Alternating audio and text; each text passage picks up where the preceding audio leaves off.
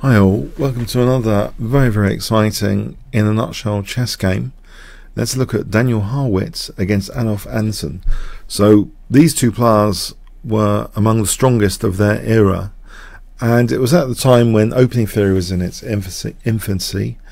Uh, we see here a king's gambit, a romantic era of chess. Daniel Harrwitz playing white, e4, e5, f4, takes, and routinely, maybe a lot of players nowadays play knight f3. That is the most popular move, but uh, there's another move, bishop c4, which was played here. This is actually the second most popular move in Livebook. With careful play, black should be able to get a very, very decent position. Uh, it is tempting to play this check, and in this game we do see this check, which might not be the best move technically. The queen is subject to big tempo gains, potentially. After king f1, uh, there's still it's still a very, very good position for black, uh, despite the potential tempo gain. For example, a move like d6 or even d5 can be very handy, like this and black's fine even if the queen went to h6 black would be fine and it's dangerous for white but uh, in this game black took another liberty here bishop c5 it while it cuts across the diagonal it might seem quite aggressively posted on this diagonal. It is itself subject to tempo gain and also of course is potentially neglecting this diagonal. We see knight f3 kicking the queen. The queen goes back to uh, e7. And actually, this is quite a cunning move if white, especially if white reacted here a bit too ambitiously, for example, with knight e5, but he didn't. On knight e5, knight f6, it doesn't matter about the f pawn in this position, but it ends up with a very good position. For example, takes here, and then like rook f8 after black would end up being fine uh, or knight takes, it doesn't really matter after knight f6, knight takes. Uh, this position, th sorry, this position with knight takes, rook f8, knight e5, knight c6, there's a lot of pressure actually on white centre, and this rook, it, it is essentially like a poison pawn taking this, because this rook is kind of stirring against the king here. So actually it works very well in black's favour if white played knight e5. But a much stronger move is played here after this very provocative queen e7, which is just support the pawn and also try and get another big tempo gain with knight d5. So this is much stronger than knight e5. Uh, stable, simple development with the pawn duo, both knights developed. Very simple looking and effective. Knight f6 and here black tries to hold on to his uh, f pawn but there's a kind of weakness of the last move here. Another big tempo gain which you might not think is necessarily completely significant assuming and the big assumption here is that white would take on f4 if we have a brief look at this the queen going back to d8 might not be that bad if knight takes f4 happens, for example like this, with d5, even as a temporary pawn sack, black will end up with an active position. White's king is misplaced. There's compensation. But in this position, white plays a crucial move which exposes many of the downsides of black's position. Can you see what white played here if I give you five seconds starting from now?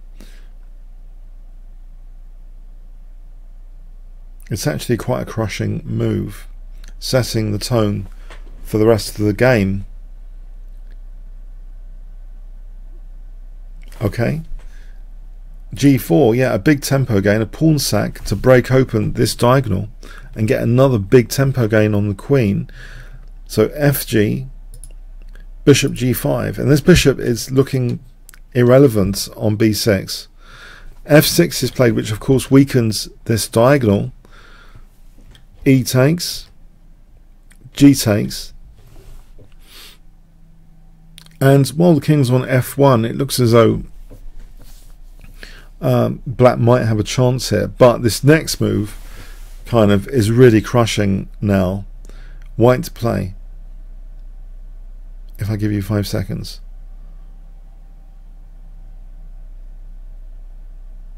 With the king on f1, you might think you have to be careful, by the way, about this f file. But white played knight e5, hitting the knight on h5. Black now maybe was banking on this next move just to castle.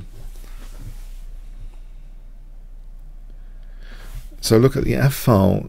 It looks as though there's going to be maybe some trouble for the white king. But white just took on h5, allowing this check. f takes g5 check.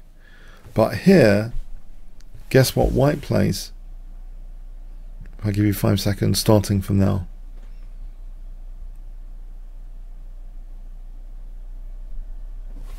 Okay, this check is answered with double check, which means actually here only the king can move.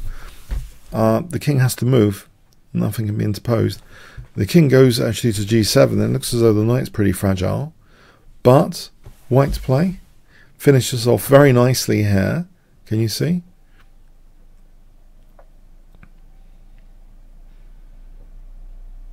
Okay, queen takes h7 check.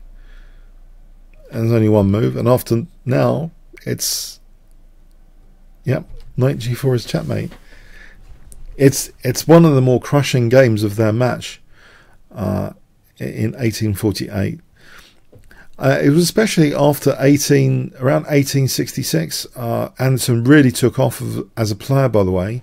So more than 50 years of age after 1866, he really became a fantastic combinatory attacking player. But I guess he must have learnt a lesson or two from this brutal defeat. It's uh, it became yeah, he, he, he, I don't think this kind of humiliating defeat would be repeated that much in later years as he became one of the strongest players in the world for sure. But that was like, uh, you know, 15 years later, we're talking 15 plus years later, but a great early lesson for him on the black side here against, you know, Daniel Harrwitz, who himself is one of the leading players of the time.